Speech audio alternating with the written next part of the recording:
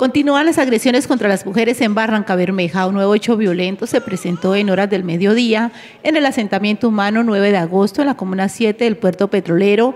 En hechos confusos, una mujer fue impactada con arma de fuego a la altura de la cabeza cuando se encontraba en su residencia siendo llevada por un motociclista hasta la clínica San José, donde fallece minutos después. Al lugar de los hechos llegaron las autoridades quienes investigan las causas, así como conocer detalles de quién sería el responsable de este hecho de sangre. Igualmente, según información, el compañero de la víctima, que fue identificada como Juliet León, fue el que la encontró tirada en la sala de su vivienda pidiendo ayuda y dando aviso de lo sucedido.